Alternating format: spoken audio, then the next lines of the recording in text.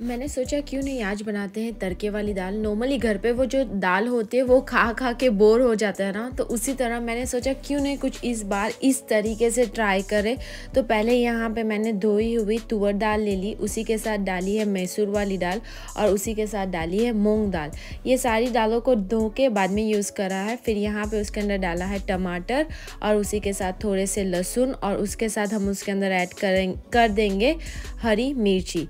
और उसी के साथ मैंने यहाँ पे यूज़ करा है, कटा हुआ अदरक, बारीक सा और पानी जितना हम लोग ने दाल, जितना हम लोग दाल बॉईल करने के लिए रखते हैं, उसी हिसाब से उसके अंदर पानी मेजर करके डाल देना है। और यहाँ पे उसके अंदर डालेंगे जीरा, दाल के आई मीन स्वाद के अनुसार नमक, और उसी के साथ ऐड कर देंगे खूब सारे करी पत्ते। और हम उसके अंदर ऐड करेंगे थोड़ा सा हल्दी पाउडर, और यहाँ पे मैंने डाला है धनिया पाउडर।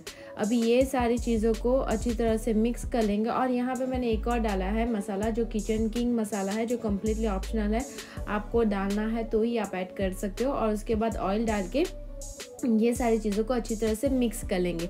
मिक्स करने के बाद हमें करना है कुकर को बंद और कुकर की दो से तीन सीटियाँ लगा लेनी है जब तक कि आपके जो दाल है वो अच्छी तरह से गल जाए। जब भी आप कुकर खोलो और आपको लगे कि दाल बहुत गाढ़ी है तो आप उसके अंदर पानी डाल के उसे पतला कर सकते हो। लेकिन वो चीज़ सारी चीज़ें करने से पहले हमें ये कुकर खोलने के टाइम एक और चीज़ करनी है जिसके अंदर हम लोग ने ऐड करे हैं टमाटर। जैसे कि आप यहाँ पर देख सकते हो, टमाटर दिख रहे हैं।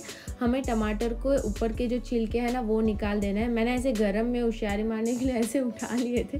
फिर मैंने उसको प्लेट पे लिया, वापस निकाला, फिर उसके अंदर टमाटर वापस डाले हैं। और उसी के साथ मैंने ये सारी चीज़ों को अच्छी तरह से मिक्स कर लिया। टमाटर अच्छी तरह से मिक्स हो गए, हमारे जो कड़ी पत्ता थे, वो, फिर अदरक, लहसुन सब मिक्स हो गया। और यहाँ पे मैंने हल्का सा पानी भी यूज़ कर, अभी तड़का बहुत सिंपल है। थोड़ा सा ऑयल डालेंगे, उसी के साथ हम उसके अंदर डालेंगे घी। और उसके साथ हम उसके अंदर डालेंगे ड्राई रेड चिली अभी यहाँ पे वो जो दाल थी उसके ऊपर मैंने धनिया डालना भूल गई थी तो उसके ऊपर मैंने धनिया भी बिछा दिया.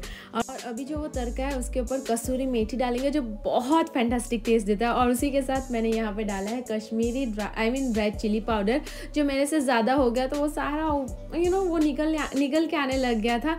सो वो थोड़ा सा ध्यान में रखना और उसे अच्छी तरह से अपने जो तड़के हैं उसको अपनी अच्छी तरह से दाल के ऊपर बिछा दो. और उसे बस मिक्स कर लो. एक से दो मिनट तक दाल को और पका लो। अगर आपको धनिया डालना है उसके ऊपर तो डाल सकते हो। लेकिन ये वाला जो तड़का, जो मेथी डाल के जो बना है ना, बहुत सुबह लगता है। खाने में भी बहुत टेस्टी है। तीन टाइप की दाल यूज़ करिए। नॉर्मली घर पे क्या होता है, हम लोग एक ही दाल, एक ही टाइप की दाल खाते हैं। वो जो बहुत बोरिंग लगता है। तो कभी कभी ऐसी टाइप की भी कुछ चीज़ें हमें ट्राई कर लेनी चाहिए। बहुत अच्छी देती है। मतलब स्वाद आ जाता है पूरा। रेसिपी कैसी लगी आप मुझे बताना।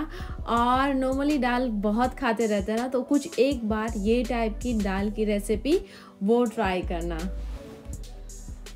वेल well, अभी रेसिपी पूरी देख ही ली है तो रेसिपी बता भी दो रेसिपी कैसी थी एंड कमेंट करना सब्सक्राइब करना and thank you so much for watching have a good day take care